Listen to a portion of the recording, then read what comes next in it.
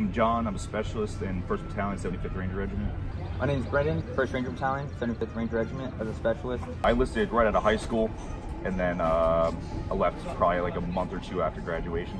I went to college first, actually. Uh, went to college, didn't plan on joining the, the Army, uh, but through research, I found there were all kinds of cool jobs in the in the military, in particular the Ranger Regiment. So finished college, and then as soon as I finished college, I went to my local Army recruiter and, and joined with Option 40.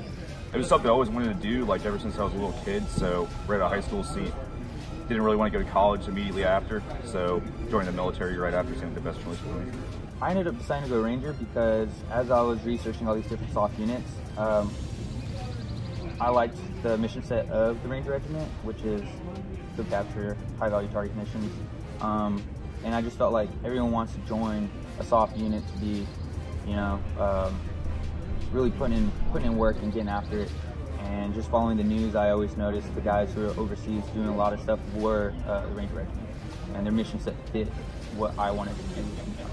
SOF obviously was always an interest, you know, since uh, the war is kind of slowing down a little bit. Uh, it seemed like the best way to get out there and get after it. The thing that keeps me motivated is uh, my peers, be quite honest. Uh, Ranger Regiment is definitely a very professional organization in the sense that there's, there's standards that you have to meet. And in order to progress within the organization, it's all performance based. So me, I'm just an E4. I've gone to Ranger School as well, so I'm a, I'm a tab E4.